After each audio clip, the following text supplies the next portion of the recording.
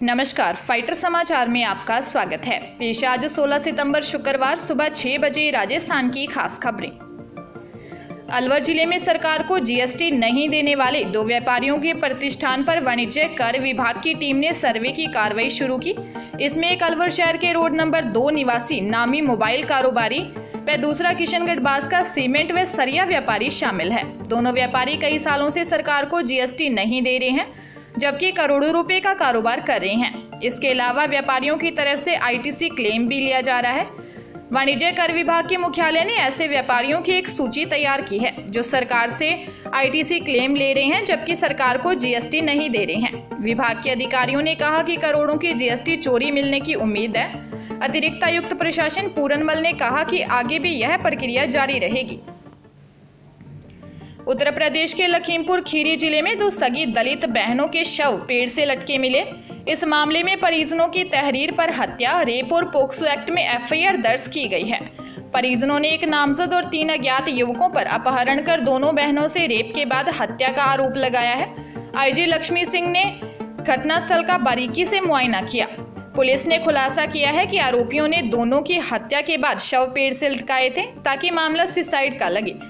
Police अधिकारियों ने बताया कि पुलिस मुठभेड़ के दौरान पैर में गोली लगने से एक आरोपी घायल हो गया।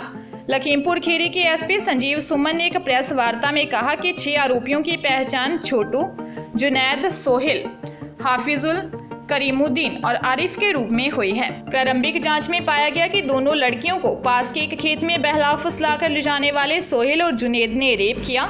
बताया गया कि लड़कियों द्वारा मांग की गई कि आरोपी उनसे शादी करे। इसके बाद उनकी गला घोंटकर हत्या कर दी गई। दौसा ज़िले में जहरीले जानवर के काटने के बाद माँ बाप अपनी दो मासूम बेटियों को हॉस्पिटल ले जाने की बजाय बाबा के पास ले गए। बाबा ने तीन घंटे तक झाड़ फूंक किया, भस्म देता रहा। इसके बाद भी होश नहीं आया। तब आखिरकार परिजन बच्चियों को लेकर अस्पताल भागे। हॉस्पिटल पहुँचने पर पता चला कि दोनों पहले ही दम तोड़ चुकी थी। मामला दौसा ज़िले के सूरजपुरा गाँव के रामबास वालों की ढाणी का है। जानकारी के अनुसार रोहिताश मीना परिवार के साथ कमरे में सोया हुआ था। रात को कमरे में जहरीले जानवर घुस गया। इसने पहले पिता के पास सो रही दो वर्षीय छोटी बेटी वंश को काटा। इसके बाद माँ पूजा देवी के पास सो रही चार साल की मान्या को भी कान के नीचे काट लिया। पूजा जाग गई। उठकर लाइट जलाई तो देखा जहरीला जानवर था। दोनों बेटियाँ अचेत हो गई। इस पर परिवार के लोग दोनों को अलीपुर गाँव के भक्तावाला बाबा के यहाँ पहुँचे। यहाँ बाबा ने करीब तीन घंटे तक झाड़ फूंकी। बाबा भस्म से इलाज करता रहा, जिससे दोनों की मौत हो गई। राजधानी जयपुर में जानवरों के खाने वाली भूसी व चापड़ के अंदर कलर मिलाकर मिर्च और धनिया पाउडर बनाने की फैक्ट्री चोमू में पकड़ी है। संभवतः ऐसी पहली बार है कि इंसानों के खाने में इस तरह की मिलावट पकड़ी गई है। फ़िलहाल स्वास्थ्य विभाग के अधिकारियों ने माल जब्त कर परिसर को सीज कर दिया गया है। सीएमएचओ जयपुर प्रथम ने डॉक्टर विजय सिंह फौजदार ने बताया कि चोमू के नांगन पुरोहितान में मैसर्स गोविंद मसाला पिसाई केंद्र में गड़बड़ी की शिकायत पर नरेश और रतन सिंह को मौके पर भेजा। यहाँ सात हज़ार किलोग्राम भूसी चापड़ के साथ मिर्च पाउडर और धनिया पाउडर रखा गया था। जाँच में आया, भूसी और चापड़ से ही मिर्च तथा धनिया पाउडर बनाया जा रहा है। अधिकारियों ने मौके पर ही 600 किलो नकली मिर्च पाउडर 200 किलो नकली धनिया पाउडर और 7000 किलो भूसी व चापड़ सीज कर दिया। जहाँ यह सब काम हो रहा था, उसका लाइसेंस भी नहीं था। सैंपल लैब भेजे गए हैं और रिपोर्ट आने पर मामला दर्ज किया जाएगा। दोसा के बांदीकुई के आभा नेरी के पास दो साल की बच्ची 200 फीट गहरे बोरवेल में गिर गई। सूचना मिलते ही प्रशासन की टीम मौके पर पहुँची और बच्ची को निकालने के प्रयास शुरू कर दिए गए। लेकिन तेज बारिश के चलते एक बार रेस्क्यू को भी रोकना पड़ा। जानकारी के अनुसार गाँव के देवनारायण गुज्जर की एक साल की बेटी अंकिता खेलते हुए अचानक बोरवेल में गिर गई। घर वालों ने तुरंत इसकी सूचना प्रशासन को दी। इधर रेस्क्यू ऑपरेशन शुरू होते ही बारिश होने लगी। इस पर मौके पर मौजूद ग्रामीणों ने तिरपाल और कंबल से बोरवेल को ढक दिया गया। एसडीआरएफ की टीम भी बच्ची को बचाने के लिए पहुँच गई है। बता दें कि बोरवेल घर के चबूतरे पर ही था। बच्ची का पिता डूंगरपुर में है, वह वहाँ ठेकेदारी का काम करता है। इधर घर के बाहर खड़ी मासूम की माँ का रो रो कर बुरा हाल है। चूरू में जॉइंट बैंक अकाउंट से लिंक मोबाइल नंबर बदल कर धोखाधड़ी का मामला सामने आया है। मामले में पीड़ित ने अपनी पत्नी और उसके भाई के खिलाफ थाने में मामला दर्ज करवाया है। आरोपियों ने बैंक अकाउंट से लिंक मोबाइल नंबर बदलकर तीन लाख नब्बे हज़ार रुपये निकाल लिए। एएसआई गिरधारी लाल ने बताया कि वार्ड दो चूरू निवासी महेंद्र सिंह ने रिपोर्ट दी कि वह रिटायर्ड सैनिक है। उसकी शादी 21 साल पहले सुनीता से हुई थी। उसका और उसकी पत्नी का जॉइंट बैंक अकाउंट है। उसकी पत्नी ने अपने भाई के साथ मिलकर बैंक खाते से लिंक मोबाइल नंबर चेंज करवा लिया और बैंक खाते से तीन लाख नब्बे हज़ार रुपये निकाल लिए, जिसके बाद दोनों ने मुझे बीनासर गाँव बुलाया और पेड़ से बांधकर मेरे साथ मारपीट की। इसके बाद भी मैंने पत्नी को चूरू शहर में 20 से 25 लाख रुपए की ज़मीन खरीद कर दी।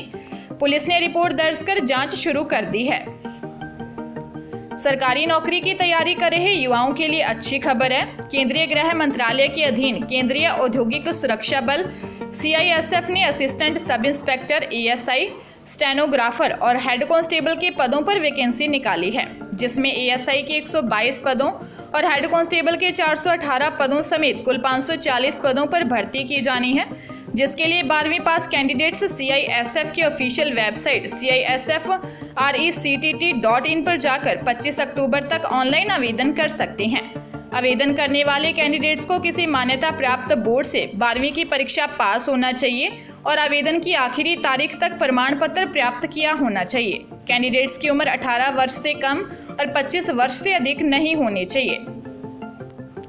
जयपुर की ज्योति नगर पुलिस ने एटीएम मशीन के 55 लाख रुपए के गबन के मामले में डेढ़ साल से फरार मुख्य अभियुक्त को गिरफ़्तार कर लिया है।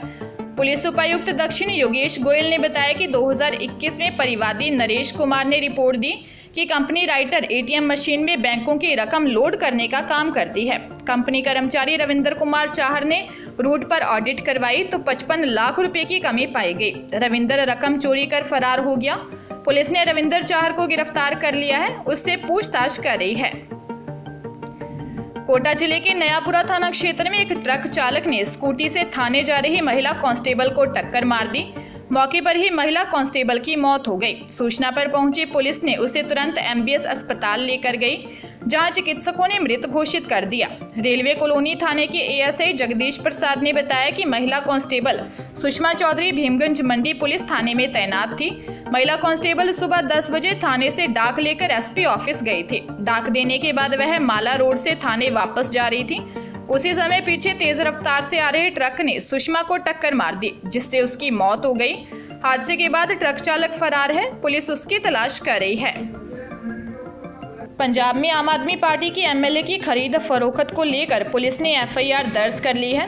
पंजाब पुलिस के प्रवक्ता ने कहा कि 11 विधायकों ने शिकायत दर्ज करवाई है। इनमें दिनेश चड्डा रमन अरोड़ा, बुद्धराम, कुलवंत पंडोरी, नरेंद्र कौर भराज रजनीश दैया रुपिंदर हैप्पी, शीतल अंगुराल, मंजीत बिलासपुर, लाभ सिंह ओगोके और कुलजीत रंधावा का नाम शामिल है। स्टैंडर्ड गाइडलाइंस के अनुसार जाँच विजिलेंस ब्यूरो को सौंप दी गई है। इसमें अहम बात यह है कि आपने बीजेपी पर आरोप लगाया था, लेकिन केस अज्ञात पर दर्ज हुआ है। इधर अरविंद केजरीवाल ने 18 सितंबर को सभी विधायकों को दिल्ली तलब कर लिया है। सीएम भगवंत मान भी उसी दिन जर्मनी से लौटेंगे। पंजाब के डीजीपी गौरव यादव के हवाले से प्रवक्ता ने कहा कि मामले की जाँच विजिलेंस को सौंप दी गई है।